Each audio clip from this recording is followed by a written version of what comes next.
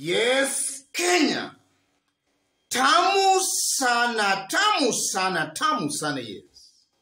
Recent opinion polls done by Radio Africa, the one they normally release through the Star newspaper, shows Raila Molo Odinga for the first, first time gives William Ruto a humiliating defeat in all provinces except in Central and in Rift Valley. So in this video, I want us to have a look at those results for they are going to form the basis of our analysis and discussion in this video. In case you've bumped here for the very first time, subscribe, give this video a like. Let's have a look at the results.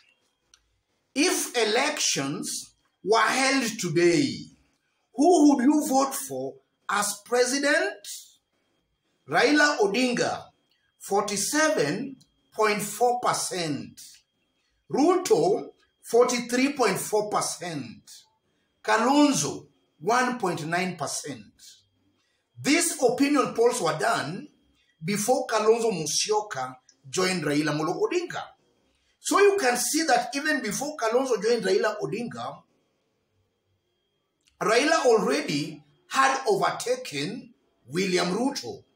And through those intelligence, that might have also persuaded Kalonzo into joining Raila Molo Odinga. Kalonzo had seen that it's the Azimio team that most likely was going to win this year's election. That's why Kalonzo Musyoka might have joined Azimio train. And if you go through, or rather if you look at these opinion polls per region, you can see there clearly Raila beats Ruto in all provinces except in Central and in Rift Valley. And my attention was drawn to Central, Nyanza, and Upper Eastern. So have a look at, let's have a look at Central. In Central, you can see Raila getting 28.2%, Ruto 57.2%. And then in Nyanza, you can see Raila 78.3%, Ruto 17.1%, Upper Eastern, that's Meru, Embu, Tharakanithi, Raila 38.8%, Ruto 57.0%. Those are the latest, latest opinion polls by Radio Africa. The ones they normally release in their print media, by or the one they normally release through the Star newspaper. And as I talk right now, the Star, rather the Star newspaper, or rather Radio Africa, Radio Africa, they have not made these opinion polls public, at least when I'm talking now. I don't know whether they'll make them public or not, but so far they have not made them public. And we are being told from some quarters that William Ruto called them and warned them not to make these opinion polls public. Though those are just rumors and allegations, and I don't have any evidence to prove those allegations. But from some quarters again, we are being told and is also believed that William Ruto has got some interest in Radio Africa. So when the opinion polls were showing William Ruto beating Raila in all the provinces, the Star and, and Radio Africa, they were really making these opinion polls actually very, they were publicizing these opinion polls very, very fast. But now that Raila has overtaken Ruto, they are reluctant to publish these polls. But what I've shown you there are the exact results by Radio Africa poll. And then again, if you look at these polls some months back, these polls were showing clearly that William Ruto was beating Raila in all eight former provinces. Yes. And then as time went by, they were showing William Ruto beating Raila in all eight provinces except in Nyanza. And then as time went by again, they were showing that now William Ruto was beating Raila in all provinces except in Nyanza and Western. Then it came except in Nyanza, Western and Coast. Then it came to Nairobi. And now you can see clearly the tide has changed. It's now Raila Odinga beating William Ruto in all the provinces except in Central and in Rift Valley. And from where I sit, without taking sides, the reality on the ground has started manifesting itself. Because even without any opinion poll, you can clearly tell and see that Raila will win in Nyanza, in Western, at the coast, in Nairobi, and also in Northeastern.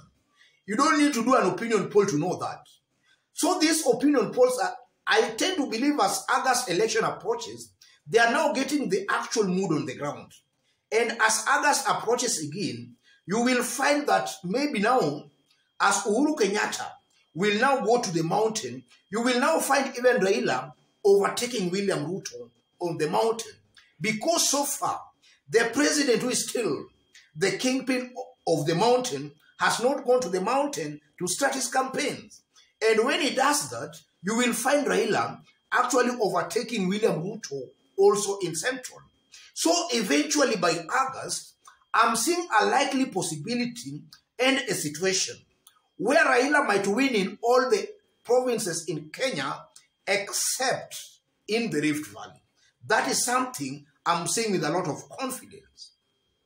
And then let's have a look, or rather let's go back to Raila's performance in Nyanza because uh, there is a very interesting point I want to make here. In the last election of 2017, we had Nyamira and Gusii or and Kisii counties. Those are predominantly the Gusii counties. In the last elections of 2017, from the results that were released by IEBC, Uhuru Kenyatta beat Raila Molo Odinga in Nyamira County. Uhuru had 49.7%. Raila had 49.5%. It was almost a tie. Though those elections from those two counties, we were told they were mad with lots of rigging and irregularities. That is something that Kenyans know, and that's something that is in public domain. But still, the results that were released by IBC showed Uhuru beating Raila in Nyamira, and then in Kisii County, it was almost a 50-50 again. Raila had 55, Uhuru had 45%. So you can see largely that in the two Gusii counties, it was almost a 50-50 situation. But if you compare that to 2022, there is a drastic shift in the two counties towards Raila Molo Odinga. And if an election was to be done there fairly, without any form of rigging, I'm expecting Raila Odinga to perform way much better than he actually did in 2017. In 2017, it was almost a 50-50. In this year's election, I won't be wrong to conclude that if an election was to be done in those two Gusii counties, Raila would get over 80% of the votes in those two Gusii counties. I'm saying that with a lot of confidence. And then in Luo Nyanza counties, in 2017, it was showing Raila was getting 99, 97. That's a given fact, it, and it can actually be a repeat in this year's election. Only that this time around, we might find turnout in those Luo counties actually going up because now they are seeing for a fact that the reality of Raila's presidency, or either chances of Raila becoming the president, are more realistic than those previous elections. So that might actually increase turnout in those Luo counties. So overall, in Nyanza, in 2017, with all the rigging claims, Raila had about 83% of the votes in Nyanza as a whole. In this year's election 2022, Raila is going to perform far much better than that.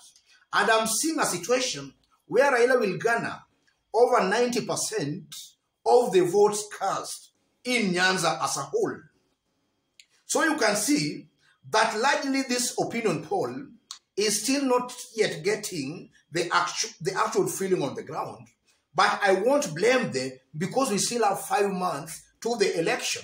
Maybe in the coming months, they will just actually factor in that reality that Raila's performance in Nyanza will stand at over 90%. I know as time goes by, they will capture that in their poll.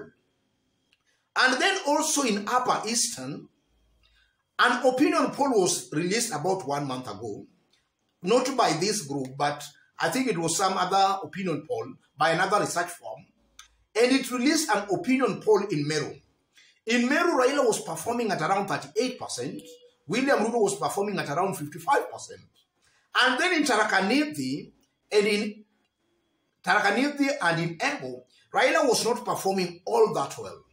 But now that in the in those upper in upper eastern, for Raila to stand at around 38%, it means that Raila Raila's popularity in Embu and also in Tharaka-Nithi has also increased as well as his performance in Meru County. So it's almost certain that in Meru you might find Raila as of today, right now, almost a 50-50 kind of a situation.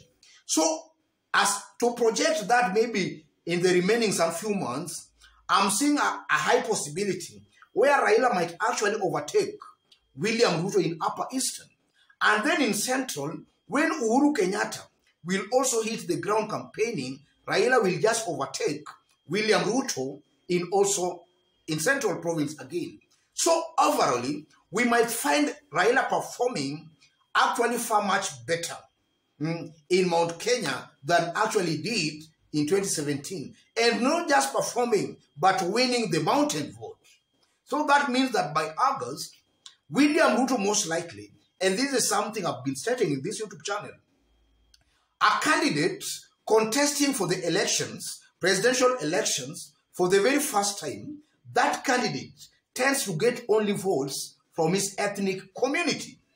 And this year, 2022, is not going to be in any way different. William Ruto by August, I'm seeing William Ruto only winning votes from Rift Valley.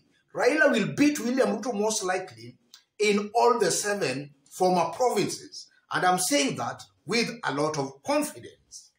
Otherwise, ladies and gentlemen, from these polls again, we just hope that the radio that Radio Africa will make these polls public the way they have actually been doing, because so far what they have done is to release the opinion polls on the running mates, where they are saying Musalia Mudavadi is the best running mate for William Ruto, and Peter Kenneth is the best running mate for Raila Molo Odinga. But I hope they'll also publish, publish, I mean, these presidential election results just the way they have also been publishing those other previous ones that were showing William Ruto winning in all the eight former provinces. Otherwise, ladies and gentlemen, just as I did state when we were starting, in case you've bumped here for the very first time and so far you have not yet subscribed, kindly subscribe, give this video a like. Thank you, God bless you, God bless Kenya.